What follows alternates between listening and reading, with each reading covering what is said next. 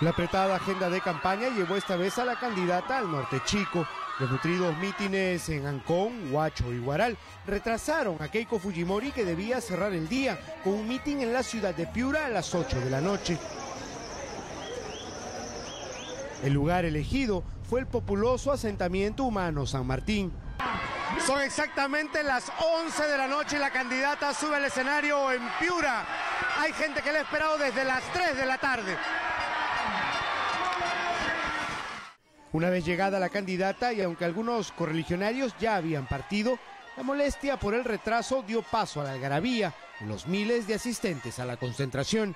Ahí la candidata pidió disculpas, como lo hiciera el congresista Alejandro Aguinaga, por los casos de esterilizaciones forzadas dados en el gobierno de su padre, a los que calificó de hechos aislados. Si es que han habido excesos por parte de algunos profesionales, yo los rechazo tajantemente. Yo, por supuesto, que expreso mis disculpas a las personas, en todo caso a esta señora u otra persona, si es que se le ha practicado la esterilización en contra de su voluntad, pero por supuesto lo rechazo y lo condeno.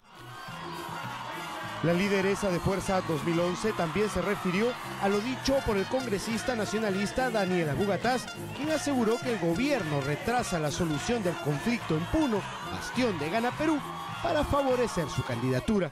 Creo que quien está hablando de fraude es porque se sienten perdedores. Yo saludo la decisión del pueblo aymara de suspender por estos momentos el pedido que ellos están haciendo al gobierno. Antes de retornar a Lima, Fujimori aseguró que no es conveniente que el Tribunal Constitucional vea el habeas corpus presentado por la defensa de su padre antes del 5 de junio, pues podría politizarse la decisión que tome el colegiado. Para hoy, la candidata de Fuerza 2011 tiene previsto cerrar su campaña en Trujillo con un mitin por la noche. Desde Piura, con la cámara de Leonardo Dávila, Juan Carlos Gambini, Primera Noticia.